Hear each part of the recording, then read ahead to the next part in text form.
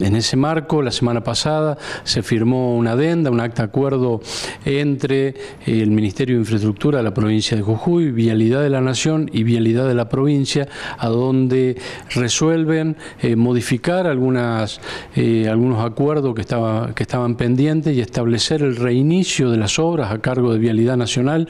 y, y el compromiso de concluir las mismas en un plazo de 180 días. No nos olvidemos que en esta obra la provincia de Jujuy, bueno, una obra que fue concesionada en el año 2013, eh, tenía únicamente a cargo la inspección de la misma, situación que a partir de la firma de esta adenda también hay algún cambio en cuanto a los controles de inspección de obra y la provincia estará a cargo de eh, las visitas y hacer el análisis en cuanto al avance de la misma. Pero lo importante es que hay un compromiso por parte de Vialidad de la Nación eh, de reanudar inmediatamente las obras. 180 días sería el plazo de obra. 180 días sería el plazo de obra, una obra que se tendría que haber concluido en el, a mediados del 2016, a pedido de la empresa encargada de la concesión de la, de la obra eh, y de distintos pedidos de ampliación, hasta el día de hoy no ha podido concluirse.